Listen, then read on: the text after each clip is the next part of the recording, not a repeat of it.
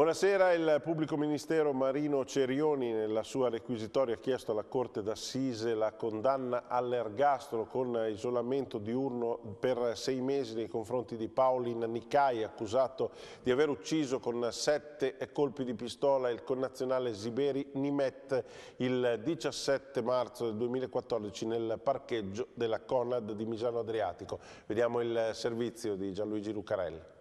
Ergastolo, e questa è la condanna chiesta al pubblico ministero Marino Cerioni nella sua requisitoria alla Corte d'Assise, oltre all'isolamento diurno per sei mesi, nei confronti di Paoli Nicai, accusato di aver ucciso con sette colpi di pistola il connazionale Ziberi Nimet il 17 marzo del 2014 nel parcheggio del Conad di Misano Adriatico. Nicai era stato bloccato e arrestato dopo una latitanza all'estero, resa possibile grazie alla copertura di alcuni parenti. Ora deve rispondere di omicidio volontario aggravato dalla premeditazione, dalla presenza della moglie incinta e dei figli minori della vittima e dai futili motivi. Difeso dagli avvocati Cesare, Roberto Brancaleoni, l'albanese reo confesso per quell'uccisione eseguita nel parcheggio con sette colpi di pistola. La vittima stava caricando con la moglie la spesa a bordo della loro auto una Mercedes classe A.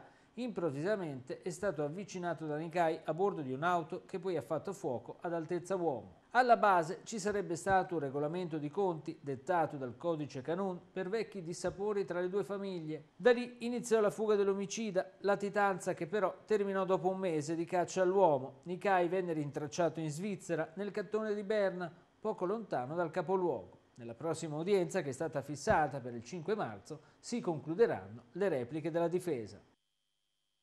Comincia domani davanti alla Corte di Assise di Appello di Bologna il processo di secondo grado per Giulio Caria, muratore sardo di 37 anni, condannato a 30 anni in rito abbreviato per l'omicidio della compagna Silvia Caramazza. Il corpo della commercialista, uccisa tra l'8 e il 9 giugno 2013 con sette colpi eh, sferrati con un oggetto contundente mai trovato, fu scoperto in un congelatore a Pozzetto nell'appartamento in cui viveva a Bologna il 25 giugno giugno. Carla fu, eh, Caria chiedo, scusa, fu fermato in Sardegna due giorni dopo. È stato condannato il 20 settembre 2014 per omicidio aggravato da stalking e eh, dall'aver agito con crudeltà dall'occultamento di cadavere e per aver rubato bancomat e carta di credito alla donna, oltre che minacciato testimoni. Caria che si è sempre detto innocente, detenuto a Pesaro ed è difeso dal penalista Savino Lupo, rimasto unico suo difensore. L'avvocato ha presentato un corposo atto di appello che punta in particolare a contestare quanto affermato dal GUP in merito alle aggravanti. Già da un paio d'anni il commissariato di pubblica sicurezza di Faenza e la polizia municipale faentina hanno diffuso un opuscolo dal titolo Regalati una città più sicura che contiene una serie di consigli utili ed efficaci per evitare di trovarsi vittime di reati che colpiscono profondamente la sicurezza di tutta la collettività. Ci parla dell'iniziativa il dirigente di commissariato di polizia di Faenza Silvia Gentilini. Questo è un progetto che la Polizia di Stato eh, fa insieme alla um, Polizia Municipale di Faenza, quindi è un progetto eh, creato insieme con il Comune di Faenza ed è sostanzialmente un opuscolo, una brochure che contiene una serie di comportamenti utili e mm, a nostro avviso anche efficaci per evitare poi di trovarsi vittime di reati che eh, colpiscono profondamente la persona e quindi tutta la collettività. Eh, si tratta di indicazioni in realtà molto semplici, chiare, possono anche sembrare banali, in realtà sono piccoli suggerimenti che eh, messi insieme eh, costituiscono del, una, un campanello di allarme, quindi un prezioso vademecum per chiunque, ehm, mettendo in atto una serie di piccoli gesti e facendo piccoli pensieri, ponendo piccole attenzioni, eh, po- possono tutelarci appunto per evitare brutte sorprese. Quindi mh, vengono indicate anche in questa, in questa brochure eh, tecniche anche di manipolazione che vengono frequentemente utilizzate dai malviventi in particolare nei confronti delle fasce più deboli, quindi delle persone anziane, che sono purtroppo facilmente suggestionabili. E si, a, si, si suggeriscono anche tattiche di difesa ricordando appunto che è vero sì che le eh, diciamo, persone più colpite sono quelle anziane, ma che eh, ciò non significa che comunque questo problema riguardi solo loro. Quello che volevamo ribadire è che questo Purpolo esiste già, è un progetto che è già in circolazione da un po' di tempo a Faenza e che è tanto importante proprio perché riusciamo in qualche modo a dare anche una, un esito di quelli che ne sono i risultati che ha sortito, perché in effetti poi eh, andando ad analizzare i dati della, della, della criminalità eh, riferiti ai cosiddetti reati predatori, quindi furti in appartamento, le truffe, quelli che insomma, più colpiscono proprio i cittadini, possiamo anche dire che forse in qualche modo l'attenzione che ha posto la lettura di questo opuscolo ha dato eh, qualche risultato. Eh, noi teniamo presente che ehm, eh, il quadro complessivo dei reati in città ha registrato dal 2014 al 2015 una diminuzione superiore al 25% in generale. In particolare poi appunto per i cosiddetti reati predatori, in specifico furti, rapine e truffe, hanno visto una diminuzione del 20% nel medesimo periodo. So che si fa fatica a, a percepire questa diminuzione. In realtà poi, e non voglio neanche dire che sia il frutto ovviamente della eh, pedissequa osservanza, osservanza di questi piccoli suggerimenti, però forse un innalzamento dell'attenzione generale ha fatto sì che insomma qualche comportamento forse un po' troppo ehm, abitudinario, non troppo ehm, attento nei confronti di, de, della sicurezza anche della propria casa, piccoli gesti in realtà probabilmente qualche effetto hanno sortito.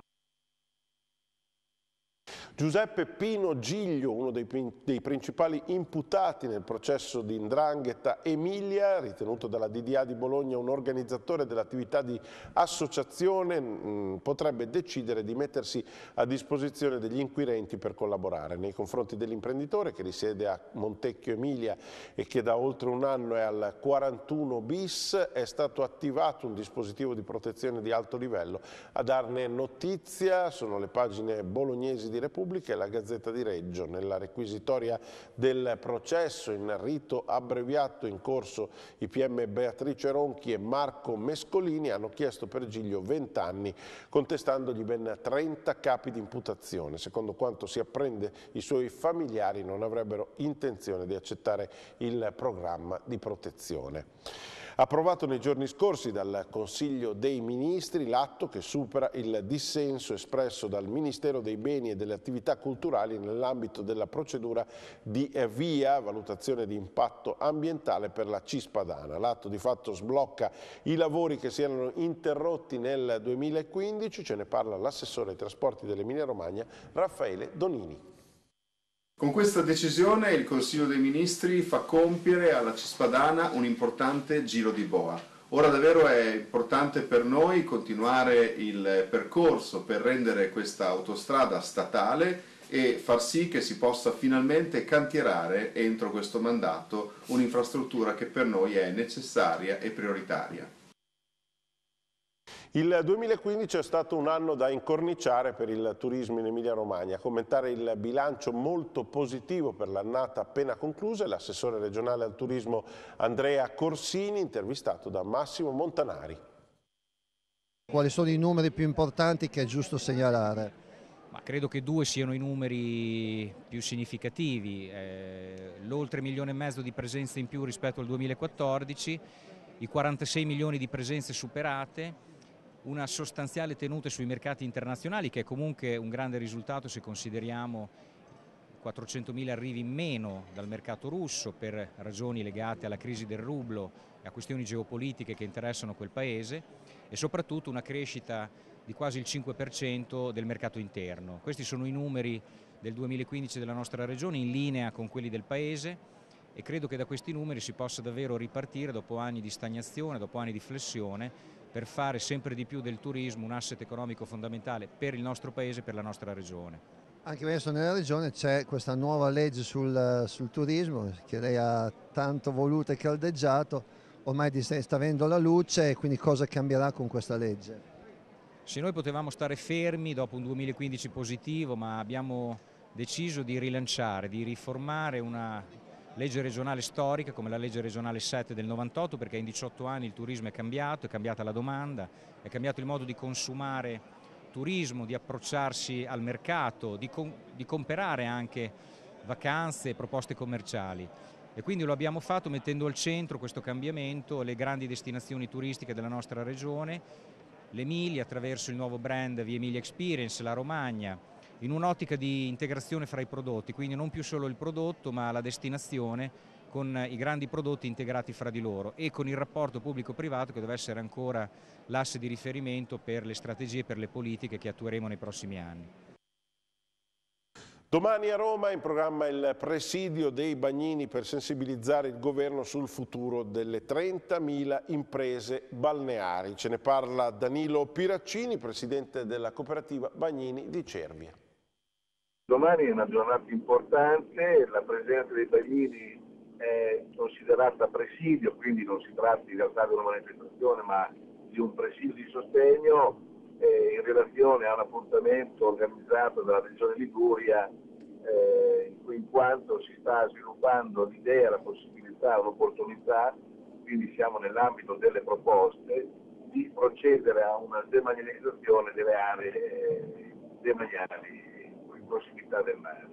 Naturalmente questo è nell'ambito proposta, ma tutto eh, aiuta a contribuire ad allargare il dibattito, specialmente in un periodo particolarmente stringente, eh, in quanto tutta la comunità balneare è in attesa, è in attesa della sentenza della Corte di Giustizia Europea, la quale è stata derimere sulla eh, validità della proroga dal 2015 al 2020. Come, come, molti sapranno, eh, la comunità europea non ha avallato, non ha rettificato la proroga al 2020, spostata dal 2015 dal governo Monti, per cui a seguito di un ricorso eh, di, una, due concessionari balneari della Sardegna, il TAR ha ritenuto opportuno rinviare la Corte di Giustizia decisione. Questo naturalmente comporta una, una, un aumento della tensione perché quando si delega la Corte Costituzionale vuol dire che la politica si ferma, non può intervenire e naturalmente è l'interpretazione delle norme costituzionali e delle norme che sovrastano uh, le leggi nazionali. Quindi in attesa uh, a breve di questa sentenza direi c'è una ripresa dell'attività sindacale e per questo motivo che domani saremo a Roma a sostegno di questo impegno. In chiusura, come di consueto, le previsioni del tempo per tutta la settimana in Emilia-Romagna che oggi sono a cura di Fabio D'Alio. È in atto proprio in queste ore una fase più fredda dai connotati tipicamente invernali sull'Emilia Romagna per una perturbazione che dal Mediterraneo sta risalendo verso l'arco alpino e dentro domani richiamerà correnti ancora più fredde di origine nord-orientale sulla nostra regione. Mercoledì quindi tornerà a cadere la neve sulla dorsale appenninica a partire da quote di bassa collina, quindi dai 300-400 metri tra il Mondenese e il Reggiano, oltre 700 metri invece sulla Romagna. Il resto della settimana comunque comunque proseguirà in maniera decisamente migliore con ampie schiarite a partire da giovedì grazie all'aumento graduale della pressione dove avremo qualche banco di nebbia al, al mattino in pianura e così venerdì e poi il weekend saranno caratterizzati tutto sommato da condizioni di bel tempo prevalente. Per quanto riguarda le temperature queste inizialmente rimarranno basse anche di giorno, specie domani, quindi in media con il periodo, mentre da giovedì le massime torneranno a superare gli 11-12 gradi in pianura e le minime rimarranno comprese tra 1 e 4 gradi e nel weekend invece le massime potranno anche toccare punte di 15 gradi per il eh, dell'alta pressione con, eh, caratterizzato anche da correnti di natura nordafricana che quindi appunto favoriranno temperature anomale ancora una volta in questo strano inverno. E adesso le previsioni del tempo per la giornata di domani.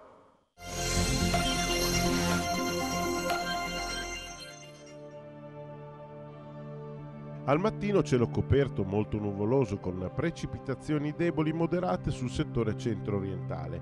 Nel pomeriggio progressiva attenuazione della nuvolosità con residue deboli precipitazioni sul crinale appenninico centro-orientale, quota neve attorno a 600-700 metri, temperature minime attorno a 5 gradi, massime stazionarie tra 7 e 9 gradi, venti deboli da nord-est con rinforzi al mattino su mare e fascia costiera, in seguito deboli variabili, mare mosso con moto ondoso in attenuazione. Per oggi è tutto, vi lascio a Oltre la Notizia, vi do appuntamento a domani come sempre con il nostro telegiornale alle 20. Buona serata, arrivederci.